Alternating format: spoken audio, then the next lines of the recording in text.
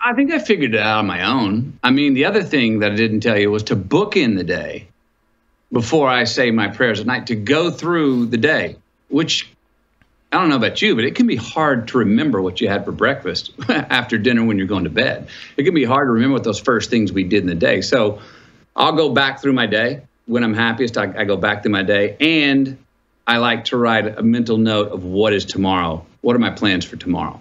Um, that's a big stress reliever for, for me. Um, I, I think I learned it on my own. I've always been a list keeper. I love making long lists of things to do during the day. And I add everything that I add the, the simple things that you know you're going to do anyway in in the list. You know, like uh, kiss your wife. You know what I mean? Uh, um, drop a deuce, whatever it is. I, I write things that I'm going to do just so it's more to mark off the list. You um, write um, among, you write down you have to take a shit. Like really? just remember. You know, enjoy enjoy that, or read something, read something funny, or, or or have a listen to that favorite tune of yours. Something that I know because the longer the list, the more things I can mark off that day, the more I feel like I accomplished, and the more it makes it kind of easy to do the hard stuff. You know. I, yeah, I, I do that with some things that I have to do, like exercise and writing. I, I do that with some things, but it seems like you're very meticulous with this. Yeah, I go through hot streaks and cold streaks on it. You know, I do it more times than others, but I've found that those are the common denominators some of the things I do when I am the most happy.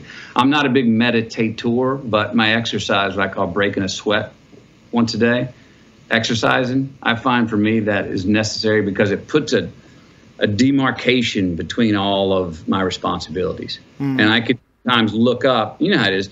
If sometimes you go through the day or days and you're so busy, and I'm, I'm good on autopilot at getting stuff done, but everything you have to do, stress comes when those responsibilities feel like they're stacked vertically on our shoulders. Mm.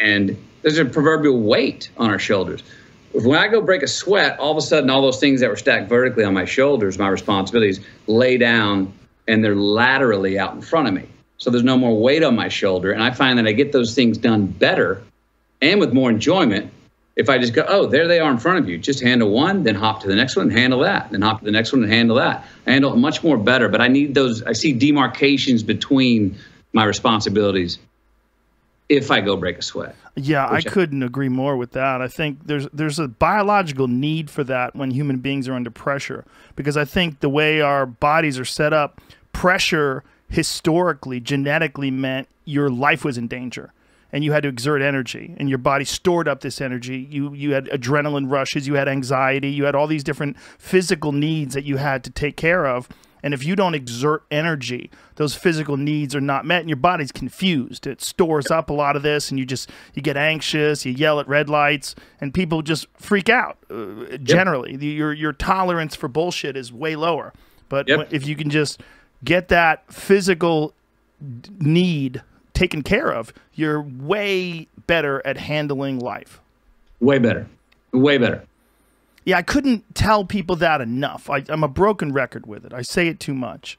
And uh, I, I love hearing people like yourself, successful people that have thought about a lot of the various aspects of what's good and bad about their life, express that because I, I think everyone needs to hear it. It's just we need to hear it from enough people so that it just get, becomes ingrained in everyone's head. Every day, brush your teeth. Every day, break a sweat just just go do it. I mean, yeah. it's, it's it's good for so many things. Yeah. Um, so, you know, people talk about oh, you know, no stress.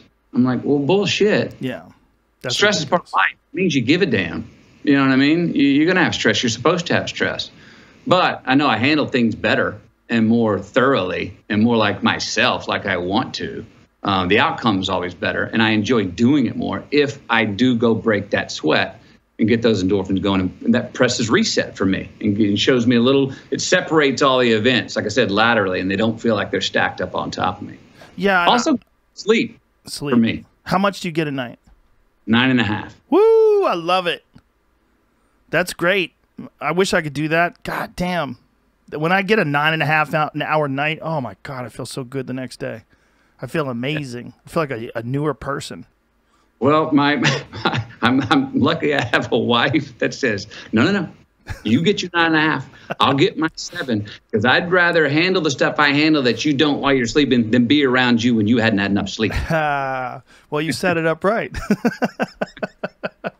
yeah, I, I can't stress that enough too. Sleep is, is everything. Sleep, exercise, health, keep the body functioning correctly, all those things. They, they they're not just it's it's not a vanity thing and it's not a, a laziness thing. It's literally like the, it improves the quality of the way the mind functions and you get better mm. things done. Your the quality of your work will be better. Definitely. Think more clearly. You don't waste your time chasing down bullshit. You don't, you know, you do the right kind of work. You know, we all know that.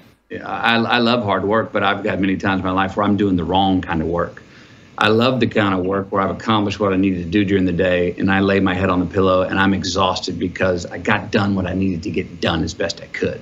I do not like the exhaustion at the end of the day where I'm like, man, I feel like I was just going to revolutions, man. I don't know if, if today had any ascension to it. I didn't build anything. And today was a, ugh, I don't, I don't know if I, maybe I went backwards, you know? I don't like that kind of exhaustion.